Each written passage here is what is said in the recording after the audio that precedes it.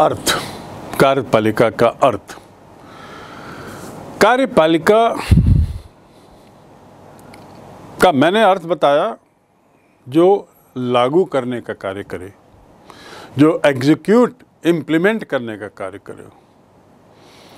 मोटे तौर पर सरकार की उस शाखा को हम कहते हैं, जो बीच में मैंने बताई, जो विधान मंडल या विधायिका द्वारा बनाए गए कानून और नीतियों को लागू करने की ज़िम्मेदारी लेती है। उसके लिए उत्तरदायी है।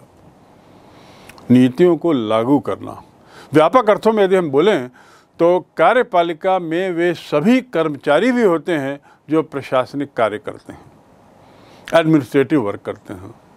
दूसरे शब्दों में, राष्ट्रपति और प्रधानमंत्री से लेकर गाँव का ग्राम सेवक तक कार्यपालिका में शामिल होता है।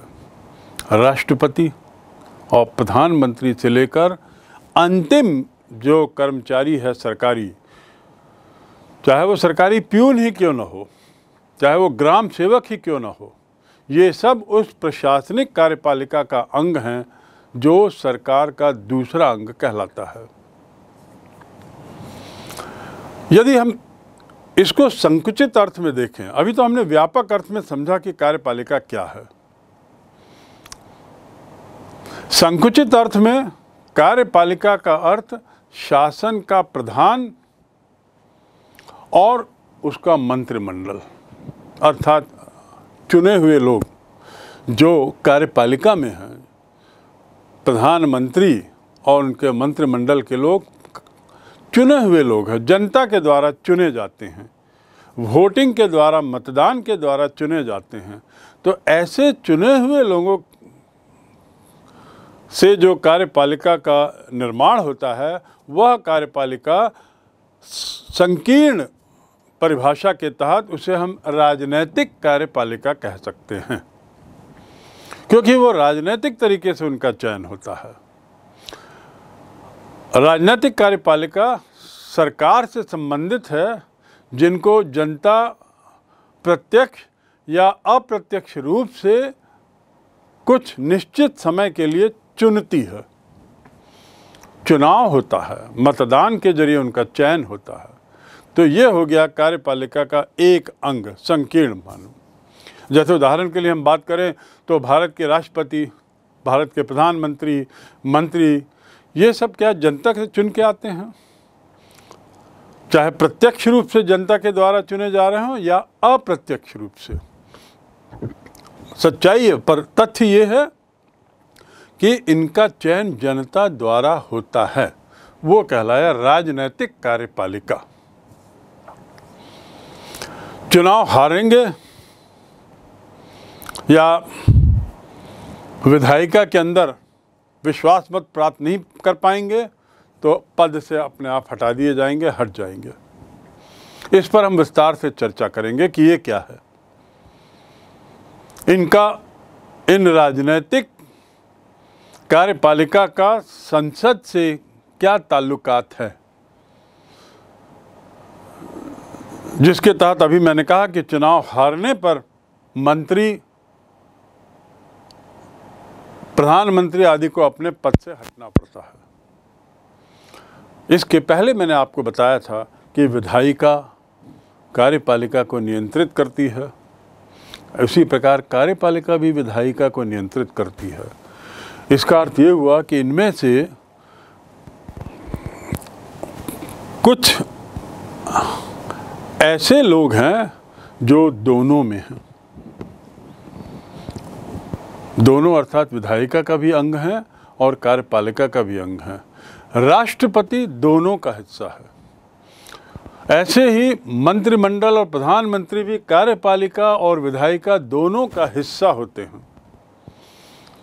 दोनों में ही रहते हैं।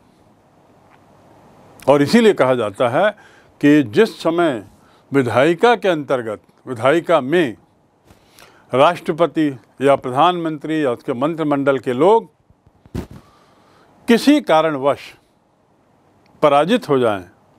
या तो चुनाव हार के, या अविश्वास प्रस्ताव के बल पर, या एक महाभियोग होता है उसके आधार पे तो उन्हें पद से हटा दिया जाता है या पद से हट जाते हैं।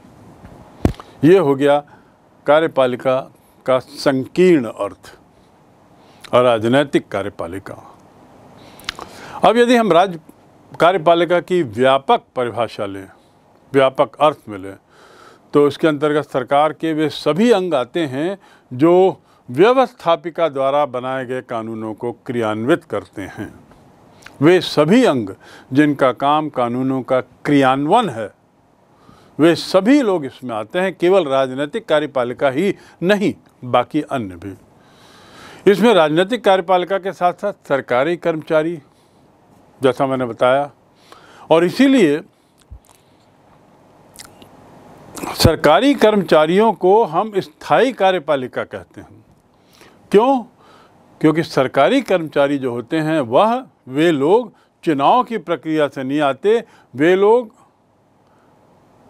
नौकरी पाने की विभिन्न अहर्ताओं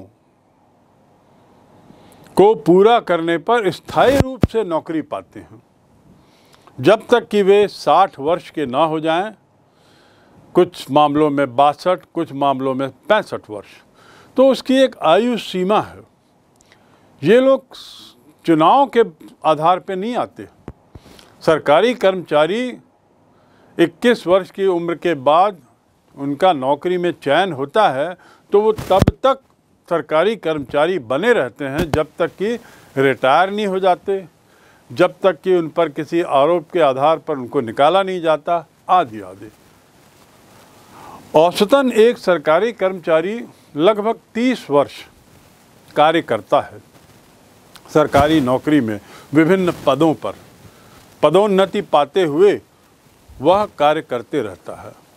इस पदोन्नति के दौरान वो सरकारी कर्मचारी बना रहता है और इसीलिए वो स्थायी है। क्योंकि ये लोग स्थायी हैं, इसीलिए इसे कहेंगे हम स्थायी कार्यपालिका।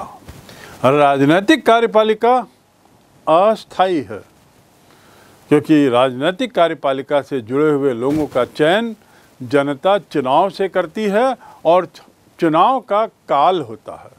सामान्य स्थिति में राजनीतिक कार्यपालिका के सदस्यों का चयन पाँच वर्ष के लिए होता है। का चयन मतलब उन मतदान के आधार पर उनका चुनाव पाँच वर्ष के लिए होता है। अधिकतम कार्यकाल पाँच वर्ष, एक बार में। इस पर हम और विस्तार से आगे चर्चा करेंगे, पर आप जान लें कि राजनीतिक कार्यपालिका का कार्यकाल सीमित होता है अस्थाई होता है। उसके खिलाफ, उसके ठीक उल्टा प्रशासनिक कार्यपालिका का कार्यकाल असीमित होता है उसकी एक बहुत लंबी आयु होती है। काल काल आ, उसका बहुत लंबा काल होता है। स्थायी रूप से वो लोग पदस्थ होते हैं। तो जब हम स्थायी कार्यपालिका की बात करते हैं तो उसमें कौन लोग आते हैं? सरकारी कर्मचारी। और जैसा मैंने कहा ग्राम सेवक स्तर तक के लोग उसमें रहते हैं। इसकी शुरुआत कहाँ से करें? यदि नीचे के स्तर पे ग्राम सेवक तो सर्वोच्च स्तर पे कैबिनेट सेक्रेटरी, मुख्य सचिव, विभागीय सचिव सचिव, निर्देशक उप निदेशक सहायक, लिपिक, प्यून, ये सब हैं। ये सभी कर्मचारी स्थायी हैं और उनकी नियुक्ति और पदोन्नति योग्यता, क्षमता और सेवा के आधार पर होती है। आप जो भी विज्ञापन देखते होंगे सरकारी नौकरी के उसमें योग्यता पूछी जाती है, क्षमता देखी जाती है परीक्षा का, परीक्षा और इंटरव्यू के आधार पर और फिर उनको, उनका सेवा काल रहता है। इनके जो कार्यकाल हैं और इनका जो वेतन है और इनकी जो नौकरी है, इसका चुनाव से कुछ लेना देना नहीं। चुनाव के परिणाम कुछ भी रहें लोकसभा, राज्यसभा, विधानसभा चुनावों के परिणाम कुछ भी रहें, किसी भी दल के पक्ष में जाएँ, वे परिणाम ये जो कर्मचारी हैं, स्थायी बने रहते हैं।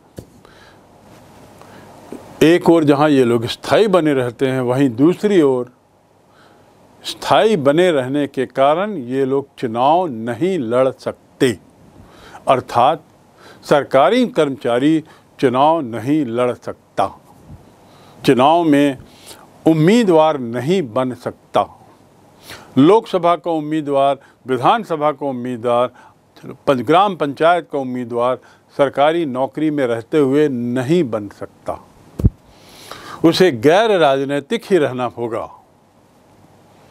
और यदि उसे चुनाव में खड़े होने की इच्छा है, चुनाव में उम्मीदवारी पेश करने की इच्छा है तो उसे सरकारी नौकरी से इस्तीफा देना होगा। और उसके बाद फिर वो राजनीतिक कार्यपालिका की गतिविधियों में शामिल हो सकता है। पर दोनों एक साथ नहीं कर सकता। ये अंतर हो गया स्थायी और अस्थायी कार्यपालिका में। स्थायी कार्यपालिका राजनीतिक कार्यपालिका के सलाहकार के रूप में कार्य करती है। स्थायी कार्यपालिका राजनीतिक कार्यपालिका के आदेशों को क्रियान्वयन करने में पूर्ण सहयोग करने के लिए बाध्य है। राजनीतिक कार्यपालिका के आदेशों को स्थायी कार्यपालिका क्रियान्वित करने के लिए बाध्य है। उसके सलाहकार के रूप में तो काम करती है, उन्हें सुझाव तो देती ही है। सचिव, मुख्य सचिव आदि सुझाव देते देंगे, लेकिन अंततः राजनीतिक कार्यपालिका के जो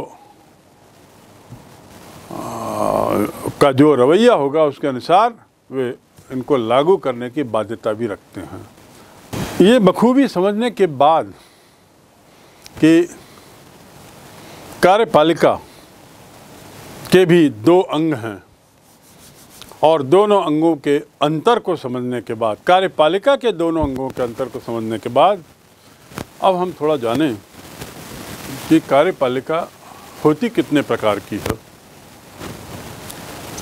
कार्यपालिका भी अलग अलग प्रकार की है। और कार्यपालिका से मायने है मेरा सरकार का वो दूसरा अंग, जिसको हम एग्जीक्यूटिव कहते हैं। हर देश की कार्यपालिका होगी। हर देश की विधायिका होगी। हर देश का न्यायपालिका होगा। लेकिन विभिन्न देशों में इन तीनों के बीच के संबंध अलग अलग हैं। और चूँकि तीनों के संबंध अलग अलग हैं, इसीलिए तीनों अंगों की प्रकृति भी अलग अलग है। कहीं कार्यपालिका ज़्यादा हावी है, कहीं पर न्यायपालिका हावी है, कहीं विधायिका हावी है कई जगह ये तीनों ही अंग किसी एक व्यक्ति में सीमित हैं या किसी एक संस्था में सीमित हैं, आदि आदि। सभी देशों में एक तरह की कार्यपालिका होगी, ये संभव नहीं है।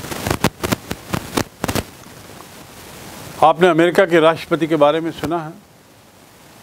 यदि हम सरसरी नज़र पे अखबारों को देखें तो हम पाएँगे कि अमेरिका की बात करते हैं तो हमेशा वहाँ राष्ट्रपति का नाम आता है।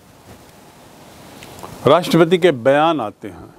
और ऐसा लगता है वहाँ की सरकार, यानी राष्ट्रपति, वहाँ प्रधानमंत्री का नाम हमने कभी नहीं सुना, क्योंकि वह पद वहाँ है ही नहीं। ऐसी स्थिति में वहाँ की कार्यपालिका अलग होगी, उसके दायरे अलग होंगे, उसके काम अलग होंगे। लेकिन उद्देश्य होगा कार्यपालिका का लागू करना।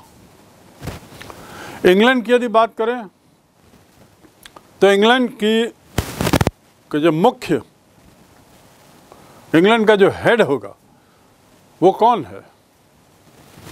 क्वीन एलिजाबेथ वहाँ की रानी। इंग्लैंड की मुखिया, वहाँ की रानी। क्वीन एलिजाबेथ लेकिन इंग्लैंड के बारे में हम बारंबार वहाँ के प्रधानमंत्री के बयान सुनते हैं। मिस्टर बोरिस जॉनसन, इंग्लैंड में रानी मुखिया हैं, लेकिन बयानात या सरकार की बात जब होती है तो प्रधानमंत्री बोरिस जॉनसन का नाम आता है बारंबार। अमेरिका की जब बात करते हैं तो वहाँ पर प्रधानमंत्री का नाम नहीं, रानी राजा भी नहीं, वहाँ पर राष्ट्रपति का नाम आता है। जो बिडेन वर्तमान में वहाँ के राष्ट्रपति हैं। अमेरिका के राष्ट्रपति की शक्तियाँ और कार्य। भारत के राष्ट्रपति की शक्तियों से बिल्कुल अलग है। ये आपको इस बात से स्पष्ट हो जाएगा कि समाचार पत्रों में, टेलीविज़न में, चैनल्स में अमेरिका के राष्ट्रपति का चेहरा बार बार सामने आता है। भारत के संबंध में राष्ट्रपति का नहीं, बल्कि भारत के प्रधानमंत्री का चेहरा आता है। अमेरिका में तो प्रधानमंत्री हैं ही नहीं, पर भारत में राष्ट्रपति भी हैं। राष्ट्रपति का स्थान कुछ अलग है हमारे यहाँ। उसकी तुलना में हमारे यहाँ प्रधानमंत्री सरकार में ज़्यादा हावी हैं। हमारी प्रणाली में, हमारी कार्य प्रणाली में उनका ज़्यादा महत्व है। तो इसलिए अमेरिका के राष्ट्रपति की शक्तियाँ और उनके कार्य। भारत के राष्ट्रपति की शक्तियाँ और उनके कार्य से अलग हैं। वैसे इंग्लैंड की महारानी एलिजाबेथ, नेपाल के राजाओं से बिल्कुल अलग हैं। नेपाल में राजतंत्र था, पर राजतंत्र होते हुए वहाँ भी राजा मुखिया थे, लेकिन राजा का स्थान वो नहीं था जो इंग्लैंड में क्वीन का स्थान है या रानी का स्थान है। फ्रांस की बात करें तो भारत और फ्रांस दोनों ही देशों में प्रधानमंत्री हैं। भारत और फ्रांस दोनों ही देशों में प्रधानमंत्री हैं, लेकिन भूमिकाएँ दोनों की अलग अलग दोनों की महत्ता अपने अपने देश की शासन प्रणाली में अलग अलग आखिर ऐसा क्यों है? क्या कारण है? ये कार्यपालिका के विभिन्न प्रकारों के कारण है। अमेरिका, वहाँ की प्रणाली को जिसमें राष्ट्रपति मुखिया है, अध्यक्षात्मक व्यवस्था कहते हैं। क्या व्यवस्था कहते हैं? अध्यक्षात्मक व्यवस्था। तो अमेरिका के प्रणाली को अध्यक्षात्मक व्यवस्था और वहाँ जो सारी शक्ति है, वो वहाँ के राष्ट्रपति में। कार्य करने की, कार्यकारी शक्ति जिसे हम कहेंगे, वो राष्ट्रपति। कनाडा। कनाडा की प्रणाली कहलाती संसदीय लोकतंत्र प्रणाली। अध्यक्षात्मक नहीं। संसदीय लोकतंत्र प्रणाली प्लस संवैधानिक राजतंत्र। ये एक अलग प्रणाली है। इसके बारे में हम विस्तार से नहीं जाना चाह रहे हैं, पर आपको मालूम होना चाहिए कि विभिन्न देशों की राजनीतिक प्रणालियाँ या विभिन्न देशों की कार्यपालिका का दायरा, कार्यपालिका का कार्यक्षेत्र अलग अलग है। इस सब का अर्थ कार्यपालिका का एक ही है सभी जगह एग्जीक्यूट करना, लागू करना। लेकिन सीमाएँ अलग हैं, शक्तियाँ अलग हैं। तो कनाडा की जब बात करें तो संसदीय लोकतंत्र है पार्लियामेंट्री और संवैधानिक राजतंत्र भी है। वहाँ का मुखिया कौन? इंग्लैंड की महारानी वहाँ की मुखिया है। संवैधानिक राजतंत्र के तहत कनाडा की मुखिया इंग्लैंड की महारानी है। कनाडा स्वतंत्र देश है। एक स्वतंत्र देश रहते हुए कैसे इंग्लैंड की महारानी वहाँ की मुखिया हैं? इसका अध्ययन हम किसी अन्य अध्याय में करेंगे। फ़िलहाल हम ये समझ लें, जान लें कि महारानी एलिजाबेथ ऑफ़ इंग्लैंड उस राज्य की प्रधान हैं। और इसीलिए संवैधानिक राजतंत्र की बात होती है। लेकिन सरकार का प्रधान कोई और है? राज्य की प्रधान एलिजाबेथ, इंग्लैंड की महारानी। लेकिन सरकार का प्रधान प्रधानमंत्री। और चूँकि सरकार का प्रधान प्रधानमंत्री है, इसलिए वहाँ की व्यवस्था को हम संसदीय लोकतंत्र की व्यवस्था भी कहते हैं। और इसीलिए मैंने बताया कनाडा की व्यवस्था कहलाती है संसदीय लोकतंत्र प्रणाली प्लस संवैधानिक राजतंत्र। ये हुई दूसरी प्रणाली। तीसरा देश फ्रांस, जिसका मैंने ज़िक्र किया और कहा कि भारत और फ्रांस दोनों में प्रधानमंत्री हैं, पर दोनों की शक्तियाँ अलग अलग हैं। फ्रांस की यदि हम बात करें तो वहाँ की प्रणाली कहलाती है अर्ध अध्यक्षात्मक व्यवस्था। अध्यक्ष शब्द का ज़िक्र हमने अमेरिका के संदर्भ में भी किया था। अमेरिका की प्रणाली कहलाती है अध्यक्षात्मक। फ्रांस की कहलाती है अर्ध अध्यक्षात्मक। वहाँ का सिस्टम कुछ अलग है। इसमें राष्ट्रपति द्वारा नियुक्त प्रधानमंत्री एवं मंत्री रहते हैं। राष्ट्रपति द्वारा नियुक्त प्रधानमंत्री एवं मंत्री। और राष्ट्रपति का पद ऐसा है कि राष्ट्रपति हटा नहीं सकता। ये जो प्रधानमंत्री हैं, वो संसद के प्रति उत्तरदायी होते हैं। तो इस प्रकार फ्रांस की व्यवस्था जो है, वो एक तरीके से मिक्स्ड है। और इसीलिए अर्ध अध्यक्षात्मक संसदीय व्यवस्था हम कह सकते हैं। एशिया महाद्वीप का एक देश जापान को देखें, वहाँ कौन सी व्यवस्था है? वहाँ की व्यवस्था कहलाती है संसदीय व्यवस्था। प्रणाली के बात करें तो संसदीय व्यवस्था है, जैसा कि भारत में है। लेकिन कुछ मायने में वहाँ की व्यवस्था भारत से अलग है। वहाँ देश का प्रधान राजा है। राजा। अर्थात वंशानुगत।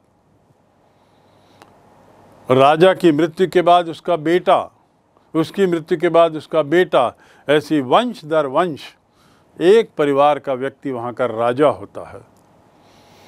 तो प्रधान कौन है? वहाँ राजा है। भारत में प्रधान कौन है?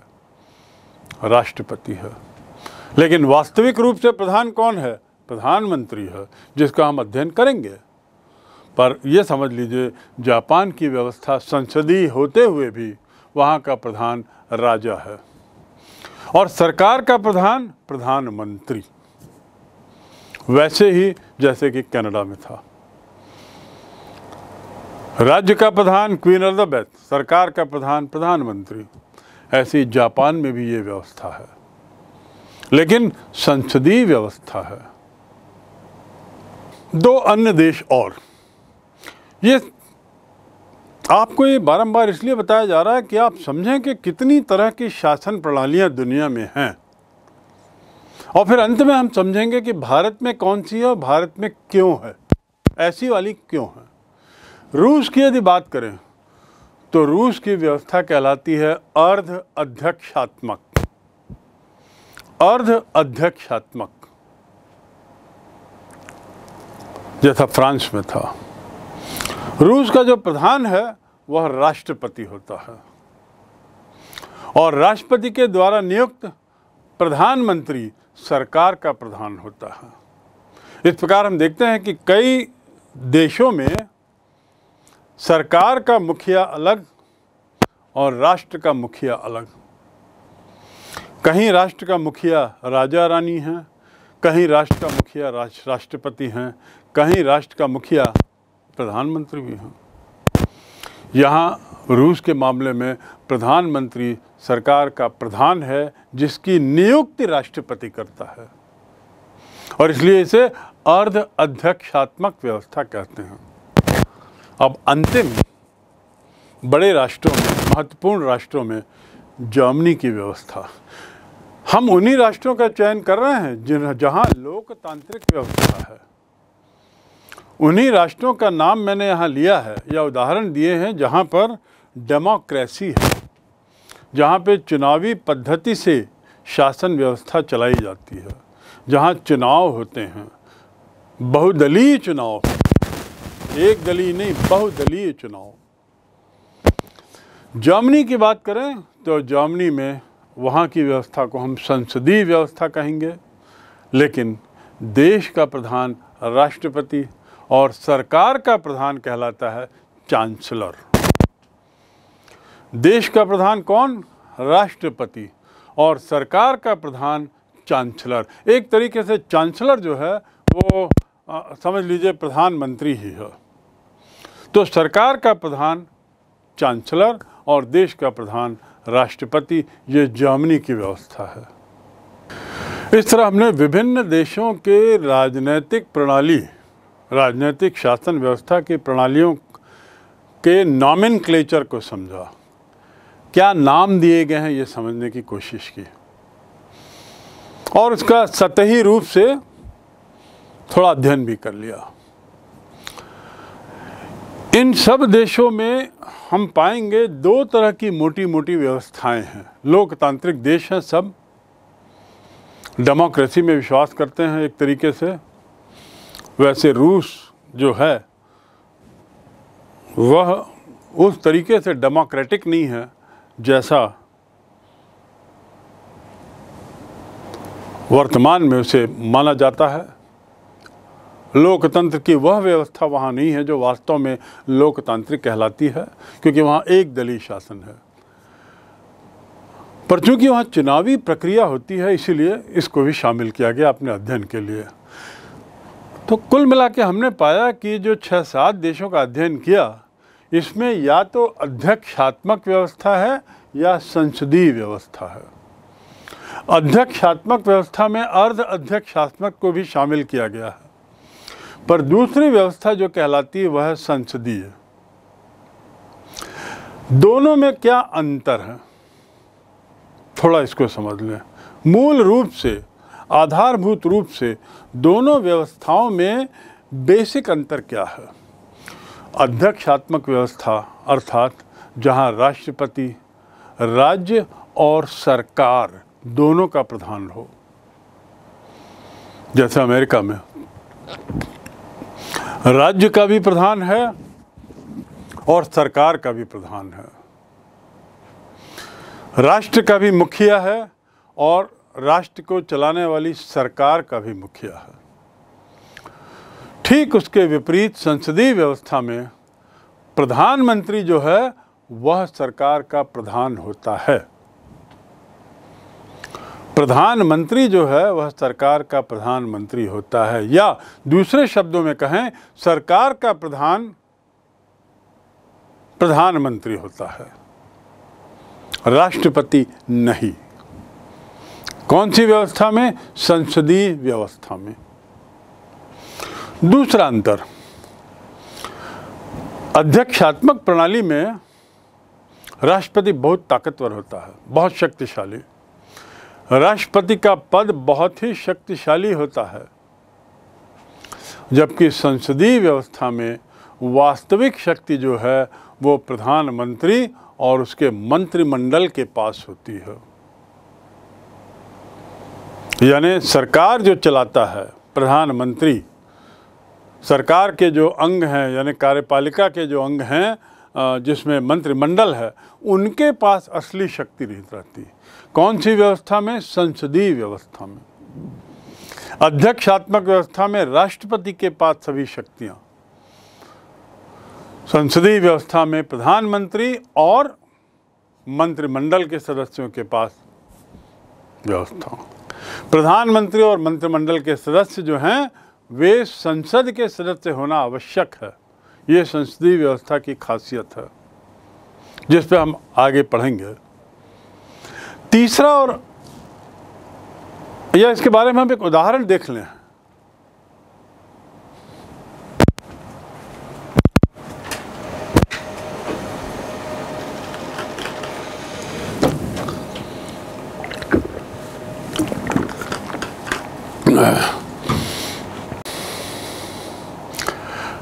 अध्यक्षात्मक प्रणाली की बात करें तो हमने कई उदाहरण देखे, लेकिन मूल रूप से या सबसे ज़्यादा जो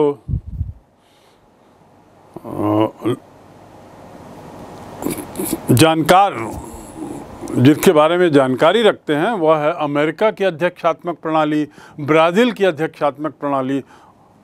ये अध्यक्षात्मक प्रणाली का उदाहरण है।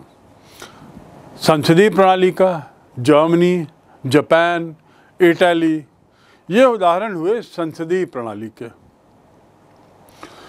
तो हमने ये समझा कि किस तरह मूल रूप से लोकतांत्रिक देशों की शासन व्यवस्था या तो अध्यक्षात्मक है या उसके आसपास है, और या संसदीय है उसके आसपास है।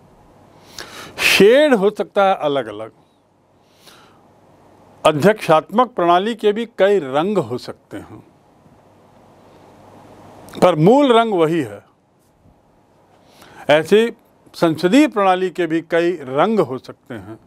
अलग अलग शेड हो सकते हैं, लेकिन मूल रंग वही है।